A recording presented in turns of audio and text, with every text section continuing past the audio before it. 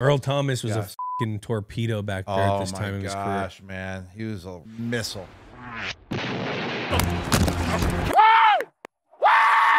He used to come downhill. Earl Thomas, he ended my season when we won the Super Bowl. That was the year I got hurt and didn't play in the Super Bowl. It was Oh. because of Earl Thomas. I was going up to see him. I was looking at the ball, and then boom. I was running full speed up see him, and he was running full speed at me. He had no fear at all. Zero. Zero He wasn't fear. a big guy either. No, not a big guy, but he was compact. Compact. Yeah, like Low man wins. Yeah. And when he hit me, I actually ruptured my lungs. And then also he popped out my disc in my back. And that's why I had to get back surgery that year. Earl Thomas.